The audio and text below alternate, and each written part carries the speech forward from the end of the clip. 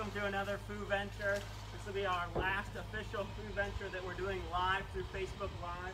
Um, we're doing this basically because we're going to have scheduling where we're going to be doing um, programming throughout the summer. We want to make sure that we don't have conflicts with programming. So we won't be live, but we'll be doing videos and we'll be posting those still. So Miss Michelle's just coming in, so I'm going to move back, let her say hi. Hi, friends. And then we can pan over to the pigs again because the pigs are what we're here for. We've given them this enrichment, which basically simulates a little oasis. That's what I was trying to do. I gave them a little pond, gave them some palm fronds, tried to get them into kind of that tropical feel because it's so hot out today. Um, and they're doing a little bit of, of redecorating. That's what they love to do. And so they're pulling on those palm fronds. They're putting them in their house for bedding. So very, very, very interesting way that they kind of interact with them. They'll sniff them all first, make sure it's not any food, and then they'll go and they'll drop them inside their house. So really, really smart, intelligent animal. Ossabaw hogs have been in the state of Georgia for approximately 200, 250 years um, as an official kind of heritage breed, the way we think of it. They originated from hogs that were bred over in the 1600s by Spanish sailors when they were actually coming here to the New World and they were habitating kind of the coastal areas. They would drop off these pigs as a basically a food source for later on. So they were basically creating a pantry on these islands. While that caused a, a, good food source for them, it caused a problem for some of the islands, and we'll talk about that a little bit. If you guys have questions, make sure you post. We're really excited um, to have you guys live, and we're having some action in the background that we maybe don't want to they don't want to show, but you can definitely guess what that sound was if you'd like to. Hi, Lucy. Hi, Bella. I can smell it too. Um, yes. I'm sorry I came in late, so I'm not sure exactly what you had talked so, about. Did you yeah. introduce them? So we have not given them their names yet. We've not talked about their names yet, but um, they do have Spanish names. They're very Spanish influenced yeah. names. They're named after telenovela actors. That's what our, our, former keeper Susan was real adamant about. So um, inside of the hog house, is uh, Fernando. Fernando, yeah. And then Ramon is yeah. on the uh, on the dirt out here on the dirt. And if you know your Espanol, that's Ramon the Jamón. Ramon the Jamón, and, and Fernando. And they're very, very, very interested in these palm fronds. Like I said, a natural thing that they would encounter in their natural habitat barrier islands and they'll actually tear them apart and they'll use them for bedding. This is not being used to eat, they're actually taking them in and they're using it as a a place for them to lay down and rest. A natural area that they can keep nice and cool during the hot summer days that we're experiencing. Because believe it or not, a pink pig, like you see on a farm, that pig's gonna get a sunburn. Yeah. So these have darker pigmented part of their uh, breed. They have uh, dirt covering their, their body and long fur. And that's to protect from the sun because a pink piggy will turn into a very, very burnt piggy very quickly unless it has lots of shade. Yeah, so these, these pigs were born in uh, September of 2017. Yeah, so they're not quite um, three years old yet, right? So they're just at two and about two, ten months, right? Yeah, three in September. Three in September. And they're very, very big um, for where they started out. They'll grew very fast. And they're big for too. Yeah, yeah. this breed is um, on the island or smaller. Yeah, and they like in the wild, maybe maybe they will reach 200 pounds, but that's very rare. Usually they're under 200 pounds. if you're happy and you know it, wag your tail. Yeah, they got a little tail and they wag it. Great. Yeah, and so they're they're redecorating their pig house putting that bedding in. And that's a natural thing that they'll do as well. They'll find a place where they will go and bed down and sleep in during the day, the hottest parts of the day, especially in the summer. And then in the crepuscular times, we've talked about that in our FOOVentures. At dawn and dusk, they're going to be most active when it comes to feeding. And so they're going to be going out and foraging for food. What do they eat, Michelle? Um, they're omnivores. Om, nom, nom, so um, they will root around and they will eat anything from like tubers, uh, vegetation, to um, small animals yep. even. Yep. Um, they've been seen eating entrails of deer yeah. before. Gross. So I know, right? So they're opportunists and they'll eat whatever they have. Op- Aw, Fernando's taking a nap. Yeah, he's like, I just made my He bed. made his bed. Time for time for me to take a nap. Mystery, did you talk about the destruction that they do? No, I said that we would we would talk about it because I talked about them being an introduced species, being introduced to these islands, and kind of what they've what they've done. And so I think a good place to start is on the beach, and then moving into kind of the the coastal um, du- uh, maritime forests and how they affect that. So for me, at least, for what I think about is their destruction to a learned behavior. So they've learned and this has been passed from generation of pig to generation of pig that on these coastal barrier islands it is very very very easy to find an amazing food source that literally is deposited in a hole for you and all you have to do is dig it up Um, so what? So about the sea turtle eggs. Yeah. Yeah, they're pretty destructive. I mean, who doesn't like to eat eggs, right?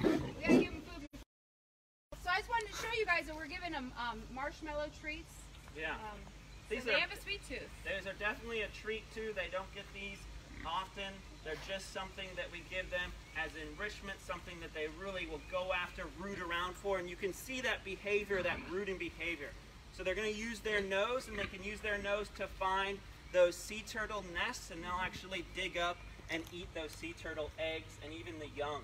It's really important to remember that they do have an, uh, an invasive effect on these islands ecosystem and they do um, have a bad reputation as being a really horrible invasive species because of their rutting behavior and because of their predation. Yeah. Normally in the wild where we find wild pigs, a pig eating a nest full of uh, turtle eggs is very, very rare. That's not something they do. But on the barrier islands, not a lot of food. And they've have to become very, very adapted to living these very harsh environments. And so they will eat anything they can come across. And they've learned and they've taught their young to find lots and lots and lots of eggs from the sea turtles. Yeah, so they're a big problem on the coast, on the on the barrier islands now. Um, and there are some organized hunts on Ossabaw because they do actually make a really good um, barbecue. hmm So an Ossabaw hog is from Ossabaw Island, but it also can be um, from other barrier islands. Those genes have all gotten mixed together, and they do have, actually have some Asian swine genetics in there as well. So they're not purebred Iberian hogs like you would think of when you think Yeah. of a big hog that's running through the, the forests of Europe. They're more like a, a mixture of the two that kind of fits the best environment. You know, they're best fit for that horrible, horrible, um, you know, hot, hot, uh, desert-like environment on the beach and coastal dunes of Georgia. And not like because of that, they store fat, and because they store fat, they're really good eating hogs. Mary Lou. Hi, Mary Lou. That's my my aunt. Aunt Mary Lou. Hi, Aunt Mary Lou. Yeah. She's tuning in. That's awesome to see her. So their av- the lifespan is about 10 to 15 years. Is that Yeah. right, Mystery? Yeah. Like 10 to 15 years, but usually in the um, you know, hog industry, they don't last that long. No. So um, our pig here at Oatland get to live out their long lives and We happy just blow bubbles. He's blowing bubbles. yeah. So does anybody out there know why pigs like to play in mud? Give us a clue. We'll give you a second to think about it. Give me one answer. Why are they? Um, why do we give them mud pits? Why do they like mud? Yeah, I Think think, about it, it um, has to do with too, like what I was talking about before about their hair, why they have hair. Yeah. Yeah, very coarse, wiry hair. Good for making boar bristle brushes. Say that fast five times. Four bristle brushes. Boar bristle brushes. And those brushes actually are so durable that you can find them in use today in some Georgia communities. They're very, very cool natural bristle brushes. Yeah. Super, super awesome. Now, um, I don't know if y'all are aware of this, but pigs are actually have a really high intelligence, Yeah. And um, they are trainable. I don't know how much our keepers work with these to train them, but our former pig streaker, she could do about three or four tricks. Uh, tricks. Tricks. Yeah. Uh, Marsha, yes. Yeah. Good job. Is that your mom? Mom, Mom and Mary Lou teaming up together, both saying cool off. And there's another reason. They're farm girls. They grew up on farms. Okay, besides cooling off, it's a good, um, especially here on the coast of Georgia. And Dawn, mud, um, so maybe keeps little insects off of them too. So, um, but yeah, so you can use food. Any animal that's food motivated is trainable pretty much, and um, you can treat them. Uh, streaker could do commands such as sit, turn around, and um, lay down and point. You could do all those. So these guys are just as smart and just as capable. In fact, I've heard they're smarter than a dog. Yeah, and they're very, they're very smart, and they're very so in the wild, they can be in groups up to 30, 30 pigs. So there's going to be typically a bunch of females and their piglets, and then one or two males maybe hanging out as well. And piglets are going to be a lot of piglets. Yes. Yes. And the piglets, that's why we have to do hunts for them a lot of times in these islands because they will actually do a lot of damage because they reproduce so quickly and they have no natural predators. Mandy loves pigs. Mandy seen our pigs? Is it Mandy person of yours? or- It might be um, Mandy from Iowa. Mandy, is it Mandy from Iowa who loves pigs? Mandy Mo. Mandy, I'm not sure. Um, yeah, pigs are super sweet. Super sweet little animals. Yeah, and I think that they're really interesting too in the way that their body is shaped because they have this kind of like really low to the ground um, kind of bulldozer type effect. So they use their nose to Oh, dig yeah, in the dirt and they flip It's like up. a plow. Yeah, it's like a plow. It's exactly like a plow, and they will flip the dirt up, and you'll actually see them going and traveling in a line and grabbing up lots of food that they come in contact with. Their nose is always working. Not the greatest eyesight in the animal world, but very, very, very good sense of smell. And maybe they can even smell underwater. It looks like he's trying to smell underwater. Yeah. You're gonna take a little bit. You're gonna take a little. I really wanted them to lay down in it, but Stop they haven't it. done that yet, and that's kind of making me sad. Oh, they might, Miss Reed. Just give them some time. They're just so excited about all the new changes in their exhibit. Yeah, so the new exhibit is um, kind of probably new to a lot of people that have visited Oatland. This was done by our maintenance crew and then an AmeriCorps group that was here, um, Elm One. So they worked on this exhibit, and then we also did some to the barnyard uh, around the cow exhibit and things like that too. Oh yeah, a lot of exciting things for y'all to come back and see here at Oatland Island. Miss Michelle, our, our coworkers are tuned in too. Tim and Pam Pam Case here. Well, hello. They love the pigs Who too. would like a marshmallow? Put my hand there You might be able to see their big tusks. Those tusks are used mostly for defense for the males and for defense against large predators. They grew up in areas where we would have things like big cats and wolves and things like that. But then they've been introduced to areas where there's no natural predators and so they don't really have to worry about it. So those big tusks aren't necessarily going to be used fighting off a predator, more for fighting off other pigs and territorial disputes. Yeah. Yeah, so their nose, Mr. Reed and I have talked a lot about um, carnivores or animals that Oh, have yeah. long snouts Yeah. and, and how it improves olfactory, Yeah. their sense of smell. And um, you might be aware of this, but actually in France, they're, um, one of the main jobs for some pigs are to find Ooh, this is super, super cool. something in the forest, a Mm. delicacy that's They- super so expensive to buy. They people forage for them too, right? yeah, does anybody know what it is out there? Yeah. And it's not chocolate. but It's, it's, it's a kind of chocolate. But it's a, like it's like a it's like a not a dessert though. No, It's not a dessert. more savory than sweet. We're just stalling, so you have a chance because there was a little delay, and we're giving you a chance to answer us. Um, but yeah, in France, the farmer will go out in something with this pet pig. yeah.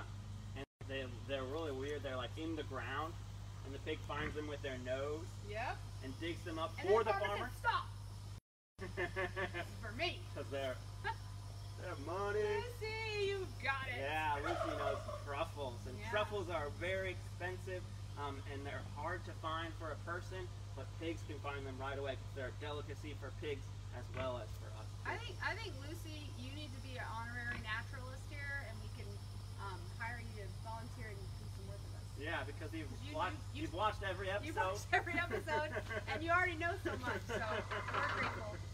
Very you. grateful that and you're you're such sweet a- little Bella. yeah, that you're such a tuned in vis- visitor. Um, hello, little one. So, um, are we gonna go see another animal? Yeah, so we can go and visit the coop. I was thinking. I talked about visiting the fowl, and then we'll finish with the goats and the sheep. So we might have to speed it up because I've been jabber jabber. Yeah, Pigs are awesome. Pigs are Hi, Charlotte. It's my Charlotte. I miss you. Okay, we're gonna come this way. We're gonna go look at some fowl, and not like fowling community like we talked about. F O U L. Like Although uh, something that would happen this if one's a Adam is foul full. fowl. This one makes fowls all the time because if you go in there, he'll attack, come after you. Well, some people. This is a turkey, turkey, turkey, turkey. Yes. Yeah. And this is not a, a turkey that you would see necessarily in the wild. This is a domestic version of kind of a wild turkey. Is it a bronze It's called turkey? a bronze turkey. Yeah, and and a they bronze have turkey a- is a specific breed that looks kind of similar to our wild turkeys, Yeah, that's our, why our we took American turkey. He is displaying right now. He's got a lot of hormones going through his body because if you can see his face will change color Mm-hmm. and his snood, which is the red, ooh, red dangly thing over his Dangling top of his beak. That's called a snood.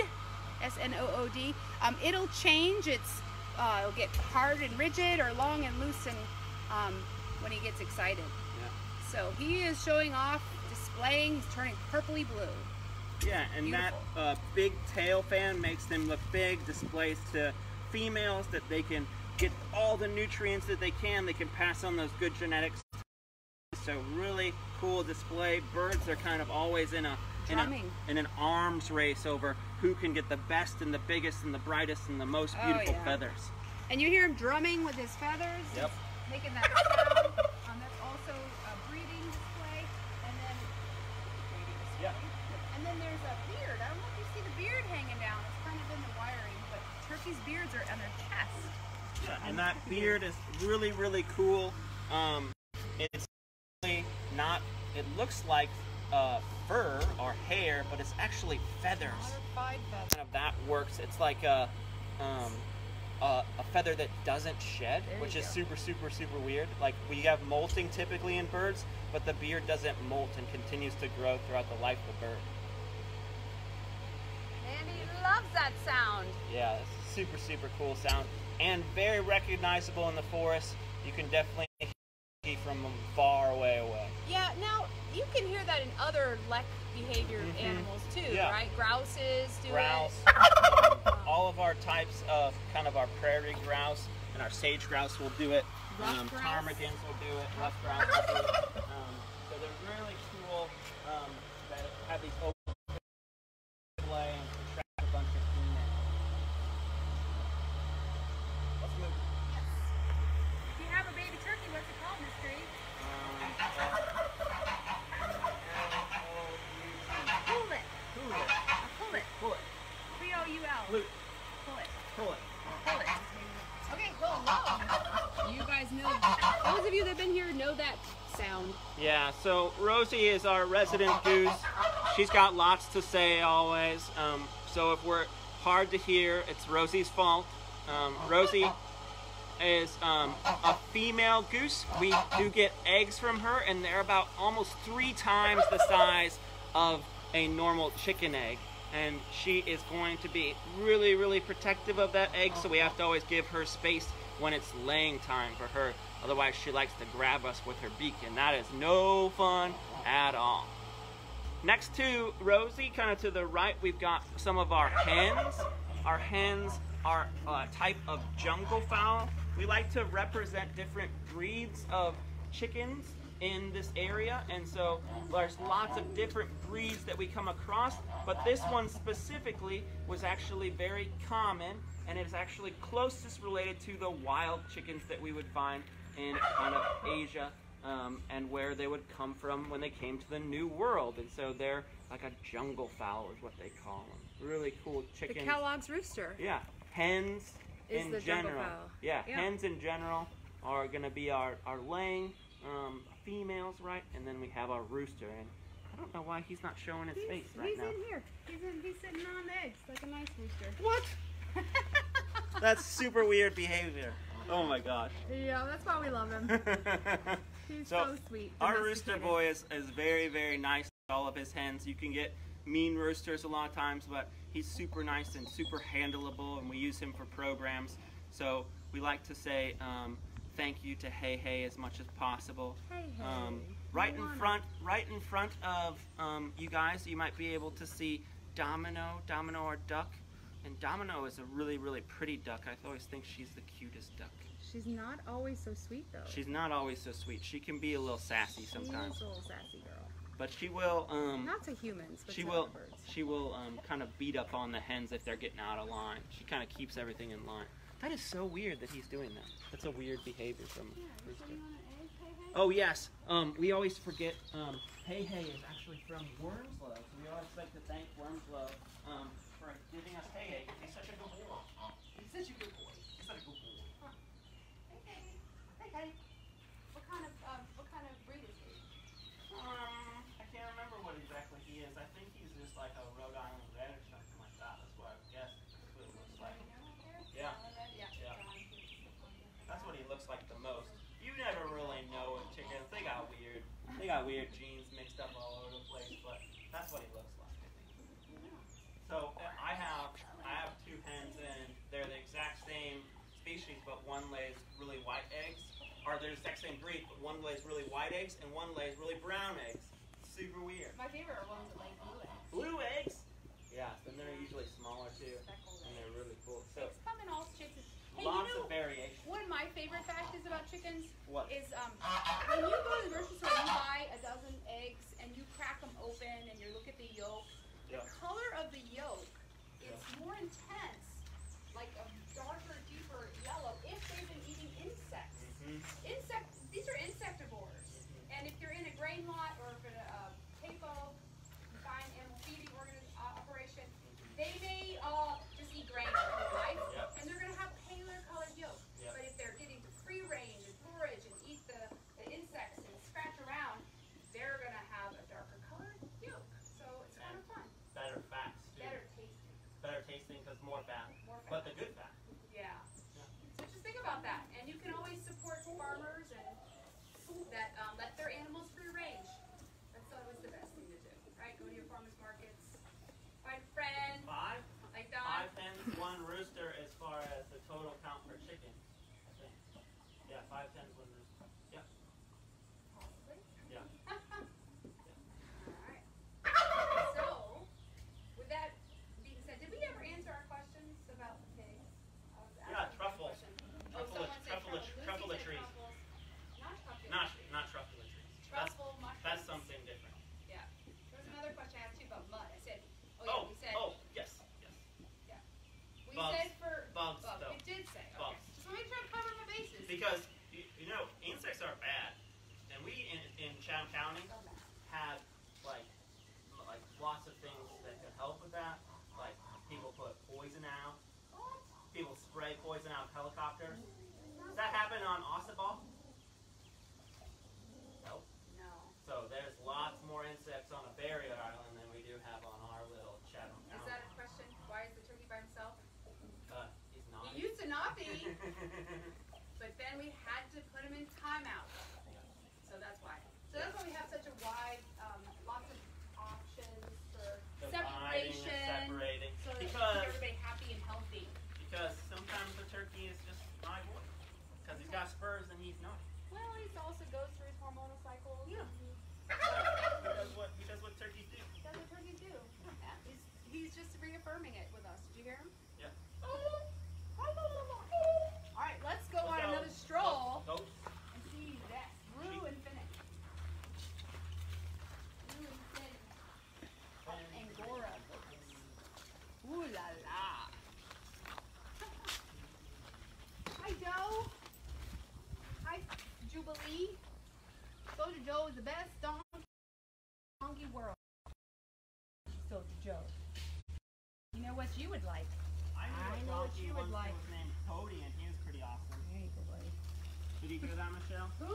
That that donkey that I knew that was named Cody. No, I didn't know Cody. You didn't know Cody? Mm-mm. You never met him? He lives in northern Georgia. Never met Hody. You've never met Donkey Cody?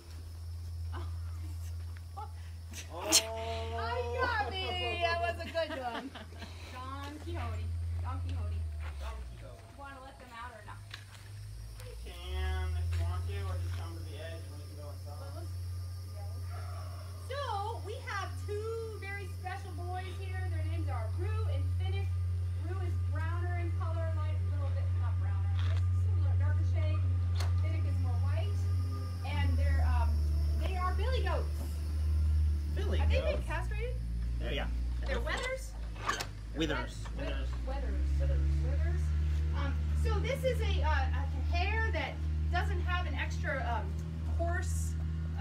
Sheath on it like sheep's these sheep have. So Yeah. therefore their hair i- is um, called mohair when you process it. Yeah, super Yes. desirable. Ooh la la! Have you guys ever touched Soft, mohair? warm, very, very, very colorful in different sure. ways because we have different colors of sheep. These guys are are actually brothers, but they're step brothers. Step brothers? Yeah, brothers from different mothers. Brothers from another mother? Yeah. Yeah. So they're really, really interesting. I don't even I can't remember how old how old are they? They're, um, they're, they're four. like three. Three or Wait, I have that down. Are they gonna be four this spring? No. Mm, let me look, because Mm. I wrote it down. I wrote the birth dates down. I can never remember with Okay, them, but they're too. pretty young. Um, March 8th, 2016. Ooh. They turned Yeah, they four. turned four in, in March. So what's really cool is they're um, actually sheared here at Oatland during our spring festival. Um, we do sheep shearing and then also shear the Angora goats. And then the Fiber Guild of Savannah actually processes their fiber and makes it into a shawl that's then auctioned off for uh, Oatland Island fundraiser. And so it's really, really cool. Um, they're showing you both number ones and number twos right now. It's pretty, pretty crazy. Yeah. Yeah, they're just you know, they're just getting real active with their their backside. Give me a little face scratches. So this is um, Rue in front, and as you can see, Rue is very much the one that wants to uh, Let me get you. be uh, up in your business. Finn's a little more shy, so they do have personalities, and they do very much um, uh, maybe get on each other's nerves like like brothers do. And so what they're gonna do is they're gonna kind of push and shove and headbutt like you see on nature shows, the rams ramming each other. They'll do that too. But that's all in good fun because they're not really competing against anything. They're just horsing around or goating around, I guess. Goating around. So Goating um, around. I want to ask them a question. Yeah. Okay, so this is called an Angora goat. Angora. Can you guess where they came from in the world? Ooh, that's And their name question. of the city is like Angora. Can you think of what it is? And it's not in North America. What? Angora. So they're they're a farm animal, yep. domesticated, Kind of a high here. desert mountain area. Goats are kind of high mountain goats, kind of like the mountain goats. Um, aw, thanks, Desiree. Desiree, Thanks, we, we appreciate you so, tuning in. um, A- Angora. Angora. Angora. It's a kind of misspelling of the city. Angora. Oh, you're getting close. That's the temple, right? uh, yes, it is. Um, it's. I'm gonna give it to you. Everyone's been writing it down. Ankara. Ankara. You know where that is? It's a Turkish. Turkey. Turkish goat, Ankara. And there's also cashmere goats, which are from Kashmir, um, which is, you know, between India and Pakistan. So Oh. this is a Middle Eastern goat. So Super cool. I guess then that makes sense why they have this curly fur to keep them nice and warm with all these layers for those really cold nights in those high deserts, right? Yeah, absolutely. They're Super, nimble, they're cool. good at climbing. They're so good at climbing. Yeah. It's so very crazy. Yeah. How is Storm doing? Mm. Storm is okay. Hey, Storm. Did you already tell him about No, I did not. No. Um, we're gonna tell him about Lucy. Hi, wants to know about Storm. Well, we're gonna go do the Shetland sheep in just a second. We'll tell you all about it. Um, Storm's good. I don't know about Cloud though. All right. Okay. What else do we want to talk about these guys? Oh, you know what I've heard? This is crazy. Um, more people in the world drink goat milk than any other milk. Yeah. So their milk is super, super nutritious. Give this away. It's low in lactose too, so it's better for people with have the, that lactic. Like you. um, yeah, that reaction. So it's super good of it in that way, and it makes great cheese. And uh, Oh, basically, goat cheese is becoming very popular in the U.S. And there's lots of farmers raising dairy goats now, which are different than fiber goats, which are different than And meat meat goats. goats. So there's kind of three general groups you can group different breeds of goats into, and these guys are definitely our fiber goats. What about what about the goats that go out and fight fires? Those are my favorite. Oh yeah, firefighter goats. Firefighter. Have you guys Yeah. heard about firefighter Yeah. goats? They're amazing. So My dog, my sister comes up to me. Lives out in the um, Bay Area where you know they have fires, and she was like, "We went and saw the firefighting goats," and I was like, "What is that? Were they wearing like fire hats and stuff?" And she laughed at me and she said, "Well, they're actually bringing them in to graze in the open areas where the vegetation is getting built up, and that helps with a fire break yeah. for fires." So and prevention." the fire won't burn as burn slow and as hot, it'll just pass through and it will not hurt the forest as bad. So really, really amazing uh, jobs that they do for clearing brush, and they actually will clear everything, briars, multiflora rose, poison ivy. They'll go through anything, and they have very strong mouths for that. Why are you so itchy? Why are you so itchy? Thank you, Mama Marsha. Aw. All right, We we're gonna go appreciate here you and see tuning our in. last animal. We're We're gonna climb a fence. climb over the fence. You can teach them No, how to do it no. too. You stay there, you bad boy. He's not bad. They don't like to go vertical, so they don't- really like to go over top of the Okay. fence. They go underneath the other one. This the They're very one. nimble. All right. And here we are with our old boy. He's 12 years old. That is about lifespan of sheep.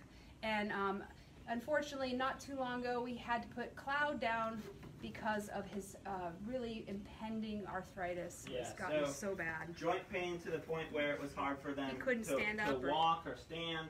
So um, he had been receiving medication for a long time to that to manage that pain, and it had just gotten to the point where um, the decision was made by our veterinarian um, to to go through that process. So it's best for the animal when they're in pain to do those sort of things. Yeah, But it lived a long, very very good life here at Oatland, um, and probably the most stressful thing they ever had to do was get their um, haircut once a year. Yeah. You know, it's kind of like us going to the dentist. It's something we tolerate and then feel really good after. So um, I think that they had a really good life. So we'd like to celebrate Cloud a little bit, throw some hearts out there for Cloud as a, uh, Yeah. a very good um, wool uh, sheep. And maybe some people, some viewers out there have a shawl with, with Cloud in it. So that's kind of cool to think about your little living piece of history from Oatland Island.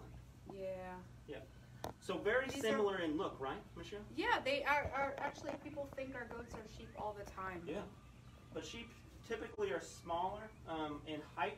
They might be a little bit wider, and they're going to develop different kind of um, coarseness to their fur because of their region that they grew up in. They kind of have like a double-ish coat almost with more wiry guard hairs, and so you can kind of see that um, maybe some older hair on um, on Storm here in front of us is kind of browning, but the younger hair underneath is very dark, very black. You're okay, You're okay, buddy. Yeah. So these are Shetland sheep from the island of Shetland, um, sh- and they are really, really not Oh, acclimated to Georgia coast. Um, they, I mean, they are personally, but this species um, better for a colder, wet Yeah. climate. Yeah. Because if you've ever worn a wool sweater, Yeah. my favorite thing about them is that they're waterproof Yeah. because of that lanolin. I Mm-hmm. say lanolin uh, five times fast. It makes my tongue. Lanolin, lanolin, Lanolin, lanolin, lanolin. Lanolin you can buy at the store. It comes from um, the sheep. It's in their um, glands they give off the lanolin. Sorry, okay, buddy. bud. Um, but makes them waterproof, and so there's nothing better than a wool sweater in the cold winter. Yeah. Love my wool sweaters. Yeah, and a lot of people think that fur is just a, a covering and that it's a layer that keeps us warm. It's like th- the denser the fur, the better. But a lot of times, what we're, we're forgetting is that it's actually the air that the hair traps. And so having curly, dense hair that has pockets of air between, your body can warm that air up and it gives you really good insulation. And so that's why when we weave the goat um, sweaters, we want to make sure we don't really do a super, super tight weave because we want it to stay a little fluffier and trap that air and keep us warm. And people also get worried about these animals in the hot, hot summer. But you have to realize too that their body temperature runs at about 102 degrees Fahrenheit, something Mhm. in that area. Yeah. So when you're wearing uh, insulation on 102, he's staying 102 degrees. Yep. And um, so it, it, you know, it might be actually a little hotter than the ambient air sometimes. Yep. So you don't Yeah. don't always feel like we we always personify um, animals and how they feel based on our how we feel and our Yeah. temperatures. And But our, we must we went Comfort. almost five degrees less of a temperature than them, so Yeah. it's gonna feel real warm when we throw on a wool sweater. yeah, Real warm. yeah, absolutely. Yeah. And I love my wool socks. It's probably my favorite article Well, you want to know King Henry VIII had I read had um, Shetland sheep wool socks. so they've been around for a very long time. This breed has been utilized by humans. And these two breeds, both uh, goats and sheep, were one of the first animals domesticated. Yeah, yeah, and that's why we have so many different breeds. Um, I think if you are really interested in these types of animals, a really cool site to visit is um, the Heritage Breed Center, and you can look, search on there all the different types of breeds that are starting to disappear as um, kind of we lose um, those little kind of farm families that raise a specific type of goat or specific, specific type of sheep for their area. So um, heritage farms are trying to pop up to reserve those breeds and preserve those breeds and those genetics. So super, super cool to look at all the different types and sizes and shapes Aw. and characteristics that they do, like fainting goats. Those are crazy. Yeah, so we've got food we can feed out um, to end with. Um, I know the goats are definitely hungry. We'll let you guys watch them feed a grazing kind of. Um, put it in your bowl, dude.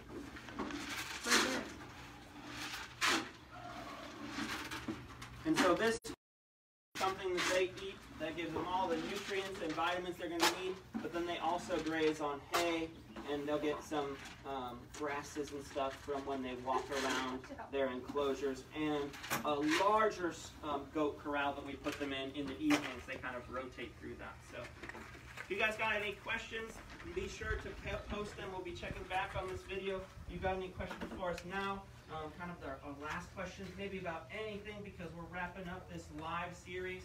Again, like we said before, we will be doing videos and we will be posting them to Facebook. We just won't be doing them as much with Facebook Live because we're starting to do programming again. That programming, we don't want to interfere with our 11 o'clock Wednesday and Friday schedule.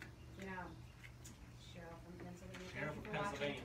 I heard that the in Pennsylvania, um, that all of the goats have like longer legs on one side because of all the hills. So when they're standing, that they don't roll down the hill. You didn't hear about this? No. It's like when they when they want to get to the top of the hill, they actually have to walk around the hill in a circle to get there because they can't. I don't know about mystery sometimes. It's just very hilly there. That's what I thought. I'm waiting for a joke to come. Well, I mean, some people have longer, one leg longer than the other. Why couldn't they have one leg longer than on both sides? Both sides. Ah! All He's, right. he's been feeling frisky. Well, thank you so much for watching us, especially all of you that have been um, regulars and um, watched all these programs. We're super grateful for supporting Friends of Oatland, for supporting Oatland Island. We are really excited to open our doors again sometime, and we will hope to see you immediately as soon as we do. Yeah. We have lots of cool things to show you. Yeah, and we're going to be posting more interactive things on Facebook. So go over the, the Oatland Island Wildlife Center Facebook and maybe uh, FOO uh, will actually cross um, platform kind of share it too. So we'll get some interactive activities you can do for your summer education to keep curious and keep interested and keep loving nature. And if you are um, have a birthday party coming up or someone's birthday, you can always shop at the Friends of Oatland gift shop. Yeah. And it's online now. Check it out. And it's got free shipping, so you just pick what you want, pay for it, and you will get it delivered to you. Pretty Rather awesome. you come in and be open, and, but that will happen too eventually. Cool. So thank you so much, friends. We miss you. We hope to see you very Yeah. soon. Stay safe, Mom.